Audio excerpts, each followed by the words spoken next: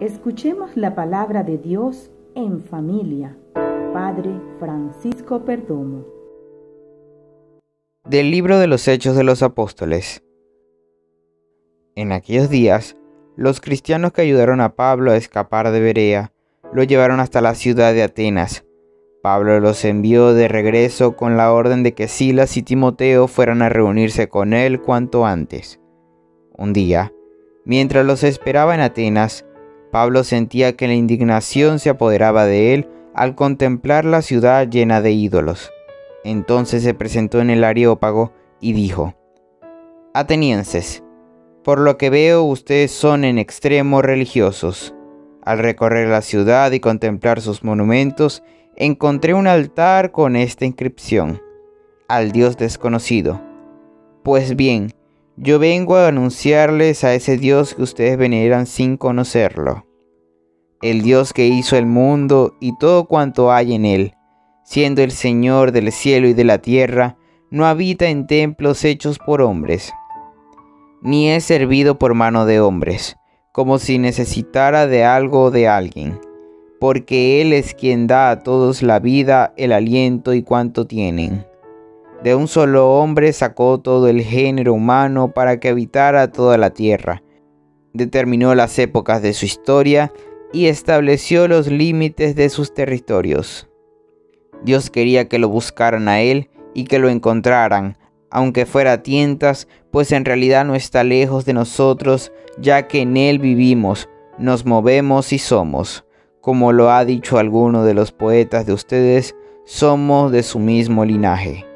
Por lo tanto, si somos linaje de Dios, no debemos pensar que Dios es como una imagen de oro, plata o mármol, labrada artísticamente por los hombres según su imaginación. Dios no tomó en cuenta la ignorancia de la gente en tiempos pasados, pues ahora quiere que todos los hombres se conviertan, porque tiene determinado un día en el cual ha de juzgar al universo con justicia por medio de un hombre designado por él y ha dado a todos la prueba de esto resucitándolo de entre los muertos. Al oír hablar de la resurrección de los muertos, algunos se burlaron y otros dijeron, de esto te oiremos hablar en otra ocasión. Entonces Pablo se retiró. Sin embargo, algunos se adhirieron a él y creyeron. Entre ellos se contaban Dionisio, el Areopagita, una mujer que se llamaba Damaris, y algunos más Después de esto, Pablo salió de Atenas y se fue a Corinto. Palabra de Dios. Te alabamos, Señor. Salmo 148. La gloria del Señor sobrepasa cielo y tierra. Aleluya. La gloria del Señor sobrepasa cielo y tierra. Aleluya. Alaben al Señor en las alturas. Alábenlo en el cielo que alaben al Señor todos sus ángeles, celestiales ejércitos. La gloria del Señor sobrepasa cielo y tierra. Aleluya. Reyes y pueblos de toda la tierra, gobernantes y jueces de este mundo, hombres, mujeres, jóvenes y ancianos, alaben al Señor y denle culto. La gloria del Señor sobrepasa cielo y tierra. Aleluya. El nombre del Señor alaben todos, pues su nombre es excelto. Su gloria sobrepasa cielo y tierra, y ha hecho fuerte a su pueblo. La gloria del Señor sobrepasa cielo y tierra. Aleluya. Que alaben al Señor todos sus fieles, los hijos de Israel, el pueblo que ha gozado siempre de familiaridad con Él. La gloria del Señor sobrepasa cielo y tierra. Aleluya. Aleluya, aleluya, aleluya, aleluya, aleluya, aleluya, aleluya, aleluya. Y Dios es bueno, aleluya ha salvado. Aleluya, mi Dios es bueno.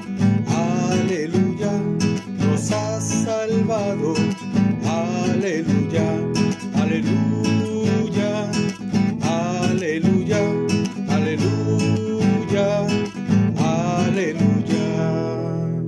Del Santo Evangelio según San Juan. En aquel tiempo Jesús dijo a sus discípulos, Aún tengo muchas cosas que decirles, pero todavía no las pueden comprender pero cuando venga el Espíritu de verdad, Él los irá guiando hasta la verdad plena, porque no hablará por su cuenta, sino que dirá lo que haya oído y les anunciará las cosas que van a suceder. Él me glorificará, porque primero recibirá de mí lo que les vaya comunicando. Todo lo que tiene el Padre es mío. Por eso he dicho que tomará de lo mío y se lo comunicará a ustedes. Palabra del Señor. Gloria a ti, Señor Jesús. Oración. Alabanzas sean dadas al Señor, a Dios Padre, Hijo y Espíritu Santo. Alabanzas sean dadas a nuestro Señor en todo momento. Alabanzas sean dadas a ti, Señor, al amanecer o al anochecer, al despertarnos o antes de dormir Gracias, Señor, porque tu gloria sobrepasa cielo y tierra. Gracias, Señor, por manifestarte en nuestras vidas. Gracias, Señor, por enviarnos al Espíritu Santo para consolarnos. Te pedimos perdón, Señor, por buscar falsos dioses para solucionar nuestros problemas de forma mágica o rápida. Te pedimos perdón, Señor, por refugiarnos en nuestra comodidad y no querer esforzarnos a llevar tu palabra al más necesitado. Te pedimos perdón, Señor, por no dejarnos guiar por el Espíritu Santo.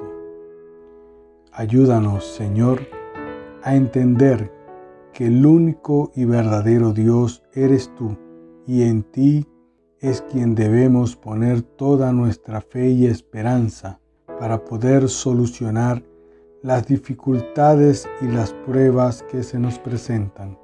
Ayúdanos, Señor, para que la fuerza de tu Santo Espíritu nos ayude a salir de la postura comodona y nos permita dar el máximo esfuerzo para llevar tu palabra a todo aquel que la necesite. Ayúdanos, Señor, a ser más dóciles al Espíritu Santo y así poder dejarnos guiar por su presencia para que podamos actuar como verdaderos discípulos tuyos. Amén.